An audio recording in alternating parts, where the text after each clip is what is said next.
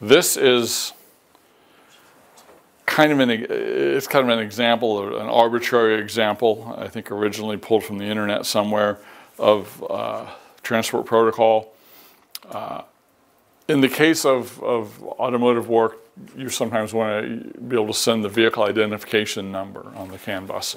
Vehicle identification number is more than eight bytes.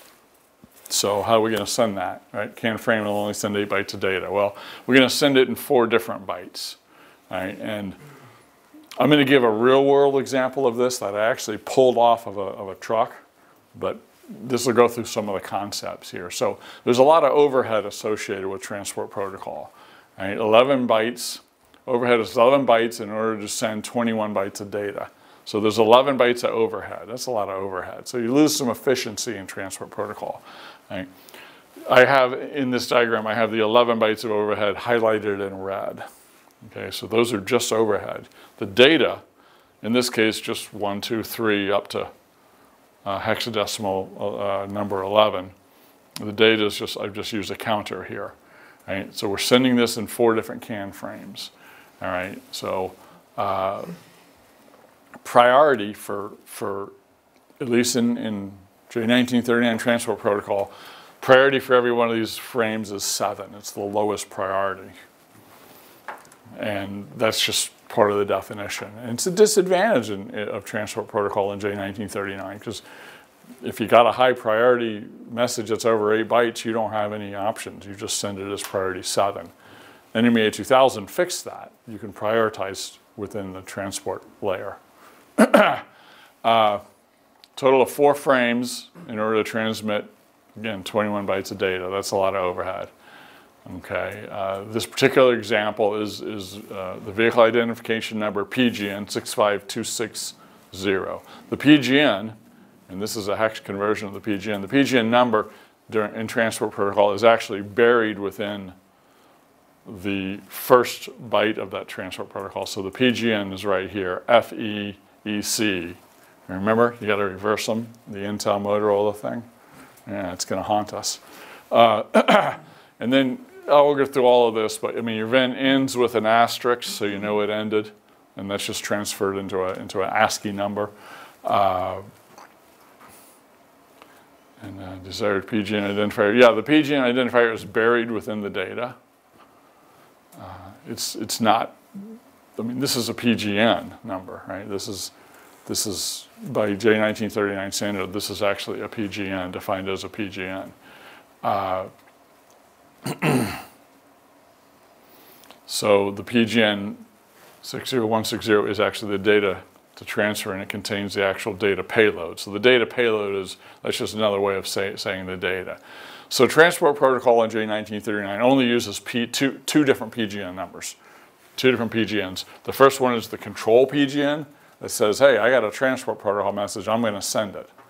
It consists of this number of bytes of data, I'm gonna send it in this, in this many frames.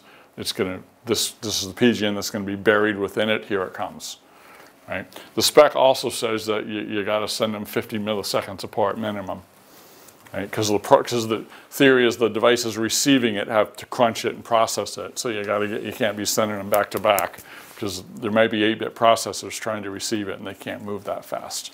So the spec says, yep, you got to wait 50 milliseconds between each each frame transmission. Okay, so this is the basics of, of J1939 transport protocol there. Let's look at a real world example. I don't want to spend too much time on a fictitious example. Here's a real world example. So I cut this out of a data series. I eliminated all of the data in between because if you look at this, there's a lot of time in there from a computer standpoint. There's a heck of a lot of time in there. There could be uh, tons of, of uh, there's actually 70 milliseconds between that message and that one. So there could be if this is running at 250K, there could be 140 messages in between. So I, so I cut them out. I got them out. I'm only showing what's relevant to my transport protocol. Uh, but it's important to realize that these, these messages are pulled out of a, of a very large data set that was collected. Uh, this is a request message. I told you that, that most of the, of the, of the J1939 PGNs are 8 data bytes. Well, this is the request message that I said I was going to show you that's actually three data bytes. So it's only three data bytes long. In the advanced course that I show that's specific, that I call it J1939 Fundamentals, we can go in and take every single bit apart and show you what everything means here. I'm not going to do it in this course because it's a little bit too lengthy a time. But I will say that it's only three data bytes.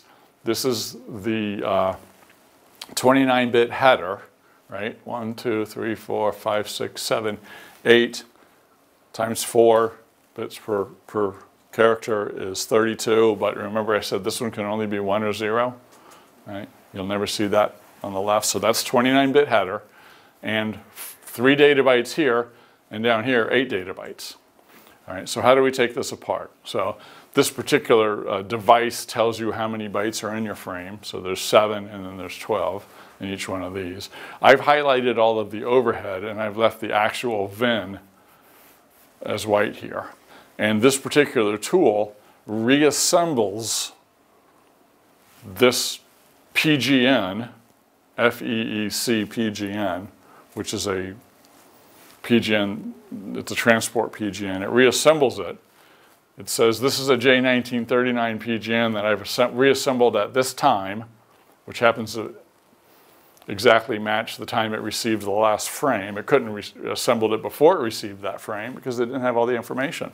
So I've reassembled this VIN based on these uh, uh, frames at this time, and it's now 22 characters long and here it is.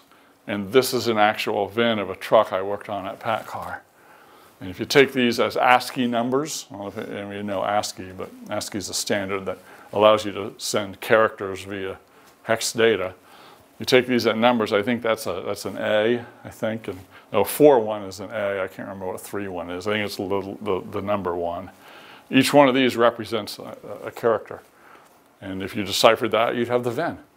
And you look at under the windshield and it better match the VIN that's on the truck because that's the purpose. So that's transport protocol in a nutshell. That's a perfect example of, of why you need it and, and how you do it.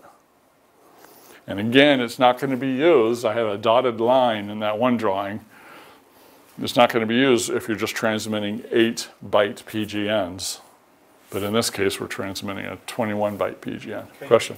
Can you handle a signal more than eight bytes in a DBC file? Yeah, uh, DBC. Well, you know, I haven't done that. I haven't. I haven't set up an example. I'd have to look at our DBC file editor and see if it supports transport Can protocol. I don't think it does. No? I don't think ours does. In, in but in a DBC file in general, So you, you can't go over 64 bits and signal out. You can combine two messages. can't? Not sure. Combine. it's a good question. How do you how do you do that in a DB? I like. I, like- I need to look at that. It's a good question. I don't That's what the J1939 is kind of doing. You're taking your three messages and you're piecing it together to get your 22 bytes. How does a DBC file know that? Well, the, the dash seven, the J1939-73 specification defines what we call diagnostic messages, and the dash 71 defines all PGNs, but it doesn't define them as 8 byte PGNs, it defines them as whatever they need to be. And it relies on the transport layer to take them apart. But it's a great question as to how that's represented in the DBC file, because I don't know that, and I'll check that out. We might be able to pull up the DBC file editor and just take a look at that. I'd- I'd like to have that answer. Thanks for asking.